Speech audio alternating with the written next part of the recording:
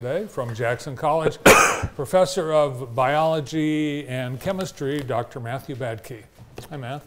Good to be back. Good morning. Got a little, morning. little cough in my throat there. Did you Mm, notice cough. that? Yeah. Mm -hmm. Just a regular cough, nothing, Yeah, nothing of note. Mm-hmm. Tickle. we do. crazy. Uh, we do a lot of uh, video editing here. We do. Yes, but today we're going to talk about uh, gene editing. I did is a- want to talk about this that. is yeah. interesting. Yeah. So there's a little bit of background, I think, in order for, for this to kind of make sense. And so stick with me for a second. It, it will, it will all come together here. But um, you may or may not know that there are viruses that infect bacteria, only bacteria. They're called bacteriophage. And for years and years and years, people thought that bacteria were sort of these simple things that just sort of go through and do their thing.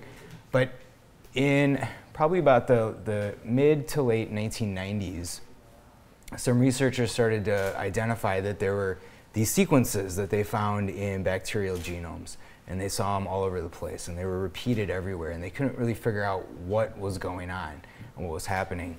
And turns out, as research does, uh, we sort you know the term we use is standing on the shoulders of giants, giant. Always taking all the research that was done and, and building on that, and that's exactly what happened.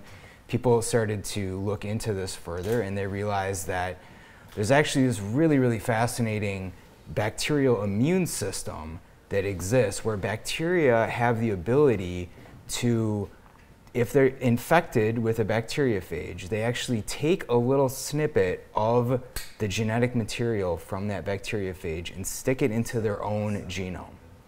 And so when that bacteriophage tries to come back and reinfect the cell, they've seen it before and they basically make a copy of that piece of genetic material and it kills the bacteriophage, not able to cause an infection again. So it's sort of an early version of, of an immune system, which is really amazing. Nobody knew that this even existed.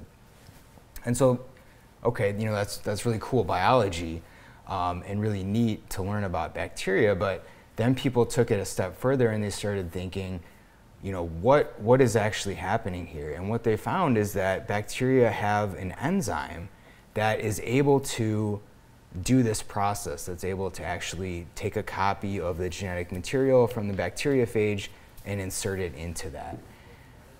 People continued to do more work, and this is probably moving into probably about 2010, somewhere around there. So this is not old, this is not old stuff. This is probably 10, 15 years ago we're talking. People started to realize that this was sort of an, an independent system that you could actually take this enzyme and put it into any bacteria and it would do this process. And then people continued to, to work with it more and they realized that you could actually have it put any sequence you wanted in there. That as long as you introduce the proper genetic material in whatever sequence you wanted, this enzyme, and it's called Cas9, uh, would be able to do this. And so people started thinking, well, what if we actually did this in human cells? What if we actually had this enzyme go in and edit a piece of human DNA? And they realized that sure enough, it could do this. That if you introduce this enzyme and you sort of told it what sequence you wanted to put in there, that this would be able to do this. And so this is what is now called CRISPR Cas9. Um, I'm not going to go through what CRISPR stands for because it's a lot of very complicated words, but it's basically the ability to edit DNA. So this Cas9 enzyme will cut out and put in whatever sequence you want. And so it is really amazing, and that was really exciting. And, and two researchers, uh, one woman from the US and one from France, won the Nobel Prize in 2020 for this technology and for realizing that uh, we have the ability to edit DNA using this system. So that's cool. Uh, and of course, then several companies have come in and they said, well, what if we use this as a treatment to actually cure genetic diseases?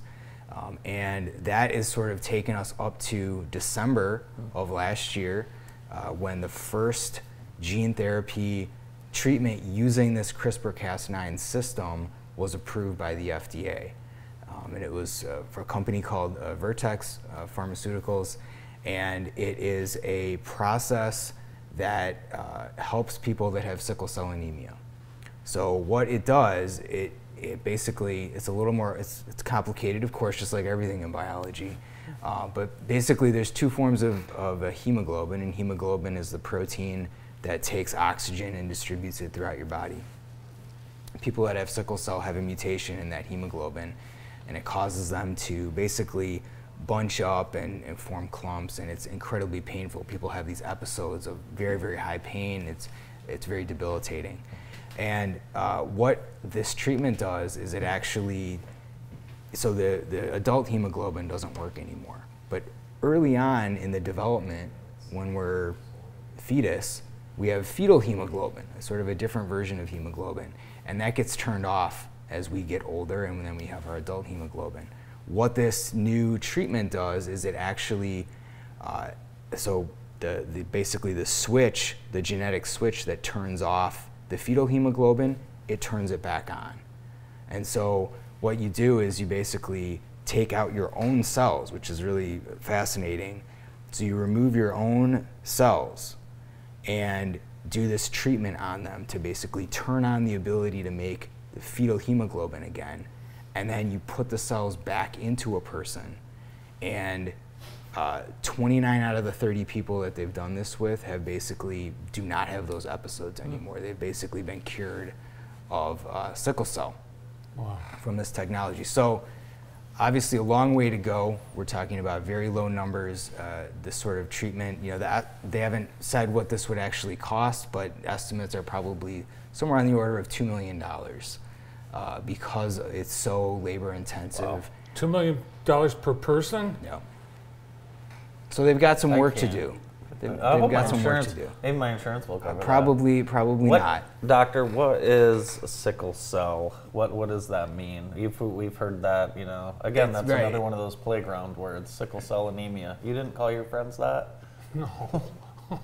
What is It's it? a, it's a, the, so you have a mutation in that hemoglobin protein, and sickle cells a normal, normal hemoglobin, uh, it, with, when it's mutated, the red blood cells, instead of being that nice round shape, form all kinds of weird, odd shapes. They get curved and they get sort of compressed, and and like I was saying, that's why if you think about your cells flowing through your vessels, right? When you've got all these odd-shaped clumps and things like that, it, they're not able to move through your vessels as easily then. So people have lots of problems, like I said, with pain. Their red blood cells don't last as long, so they end up with anemia. Um, so lots of lots of issues um, with that, and so. Um, not only is this exciting for people with sickle cell for the potential of what might come, but this is sort of a proof of concept for this idea that we can use this CRISPR Cas9 system to be able to edit people's cells and basically, you know, this idea of somebody being cured from a genetic disease is really something that nobody would have thought possible 20 years ago, probably. Um, and, and we're sort of on the cusp of potentially being able to expand this now with many other diseases as well. So very, very exciting. Amazing. Hundreds, hundreds of genetic diseases, Yeah. probably thousands. I mean, presumably anything that there was a mutation that could be identified, you would have the potential to go through and, and treat that with this process. Wild. Yeah, I had heard about CRISPR. I had no idea what it meant, and uh, Mm-hmm. now I do. Thanks for the uh, Yeah. Yeah, explanation thank Yeah. you, doctor. and the good news. It sounds like there's more and more, maybe as this gets developed, the price hopefully will come down. It's just like everything else, you know, as, as you get more efficient and things like that. Yeah. Dr. Matthew Badtke with us today from Jackson College. We have an award winner joining us next. Stay tuned.